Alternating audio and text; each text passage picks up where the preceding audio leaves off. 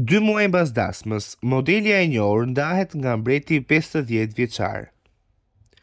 Dy muaj më parë u përhap me shpejtësi në mediat e huaja lajmi se modelja ruse Oksana Vedodina është bërë zonja e parë e Malajzisë pasi është martuar me mbretin e vendit. Oksana Vedodina, 25 vjeç dhe Muhammad V, 50 vjeç, janë martuar në një dasmë luksoze.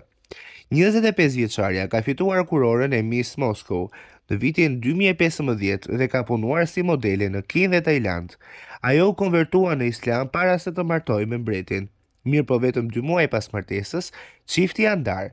Mediat e huaja shkruajnë se modelja dhe mbreti janë në proces divorci zyrtar.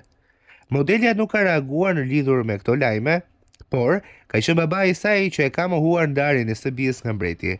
Ai është shprehur se thashethemet nuk janë të vërteta.